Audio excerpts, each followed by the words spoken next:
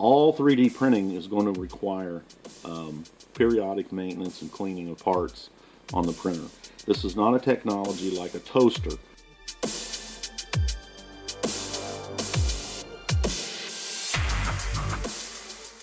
Dave with another crafted video. This is out of my 3D printer. 3D printer has commanded a lot of my attention because I've been working with it at work. And I purchased this printer to update my skills um, to modern uh, manufacturing techniques. And 3D printing is more and more becoming a manufacturing technique. And I've used this printer quite a bit. It's got about 12 and a half days of continuous printing time on it. Um, obviously, that's over a few months. Um, but I've uncovered some flaws in this relatively inexpensive uh, XYZ DaVinci printer. I have the 1.0A, and we've hacked it over to Repetier host software. And it's, uh, it really, the printer works beautifully. I love it. But it does have a flaw, and I will try to explain to you what the problem is.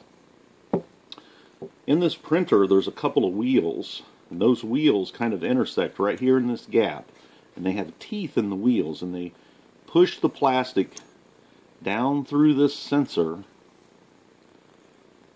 and into the uh, stem here where it is heated in the head or the hot end they call this. This is a heating element. We can see the wires coming into it. This is a sensor that allows it to read the temperature and cycle the heater on and off. Now there's a point here at which the plastic is melted and a point above which it, it, we do not want it to be melted. And essentially where that barrier is is this stem, this stainless steel stem. We want that to be cold as possible. Yet this hot end, this is uh, 230, 210 to 230 centigrade, which is about 400 degrees F. Um, is connected to this. So there's a lot of heat going into this stem. And if a little bit of plastic melts in this tube here, it will start to form a, a tight spot in the stem that the drive wheels cannot push the plastic through. And and then you'll start to hear these drive wheels slip. It kind of sounds like a gear stripping, kind of a sound like about that rhythm as it's trying to push it in, but the teeth are slipping on the plastic. And we get too little plastic out here, and we end up building this ghost of a shape instead of a solid object like we want to build because we're only getting a tiny fraction of the amount of plastic that we need to build the object. So I've learned a lot about this, and I think that uh, there's some things here that I know that have not been uh, mentioned online. Uh, for example, everybody thinks that this end in the Da Vinci printer, this uh, this extruder, this hot end, they call it the hot end assembly. Everybody believes that this is not an all metal assembly. They think that there is a um, Teflon tube or a PTFE tube in here, which is often used uh, to push the plastic through. Now, the purpose of uh, this PTFE tube is to be a slick surface that can withstand a lot of heat. The problem is the PTFE tubes melt at around uh, or begin to degrade around 245 C, which isn't very far away from where we're extruding the plastic. So a little bit of an accident or a little bit of overheating will damage the tube and cause this same problem that we're discussing.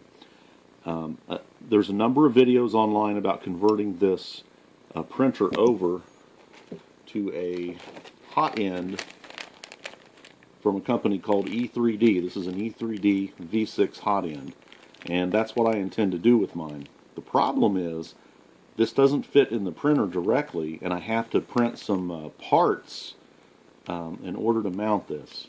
So that means I have to clean this unit one more time and get it working uh, so that I can at least print one run of parts. Um, and so that's really the purpose of why I have it apart again here. So we're currently we've got some kind of clog going on in here. Now everybody thinks the clog is at the nozzle, but it's not. It's in the stem. It's right in this area. Now these stems are polished inside to try to prevent the buildup of plastic as the as the uh, plastic line passes by any rough spots. Um, and polishing is more expensive than this Teflon tube. That's another reason why a lot of lower cost hot ends have the Teflon tube inserted in there. But this very definitely does not have any plastic parts in it. It's actually an all metal unit, which is good quality. The problem, where this problem occurs, is after long prints. And what is happening is this isn't a proper heat sink for getting rid of all the heat in the stem or keeping the stem cool. And this is a solid block. It has no fins on it other than this, you know, little thing here. The fan is not really aimed at it very well. So there's a lot of things here that really aren't optimized. This nut, it should be an aluminum nut because that would sink off heat even better than the stainless steel nut. What I want to do is make a replacement nut out of this piece of hex stock. Now I've got some height here, like at least 10 millimeter, 10 or 12 millimeter, so I can build a tall nut and I can turn some fins into this. Now I don't want to interfere with this heatsink back here, so the bottom of my heatsink when I turn it on the lathe can't be any bigger than the point-to-point -point distance here because that's uh, capable to clear. So we'll measure that point to point and then so there'll be a little standoff there and then a section of hex that I'll turn some fins into and this will get us a nut that sinks more heat away from this area and is actually in the airflow from the fan. Um, that in part could be enough um, if you own one of these printers to actually fix it. Now there are some other issues and that is um, there's clearance here in this hole. You can see just a little bit of wiggle. That means that when we tighten this nut and secure the hot end in here, that this flange is seated against the aluminum and pulling heat into the aluminum, but the stem here is really not touching inside of here. It might be in one little place touching, but it's not making contact everywhere. Um, a really, really, really nice part would require you to heat this up in order to slip this piece of stainless steel in. That requires some um, very close, high tolerance machining um, to do that. So, you know, that's probably not going to be in a 3D printer that costs $500. In lieu of that, some um, high temperature silicone based um, heatsink compound should be in this hole.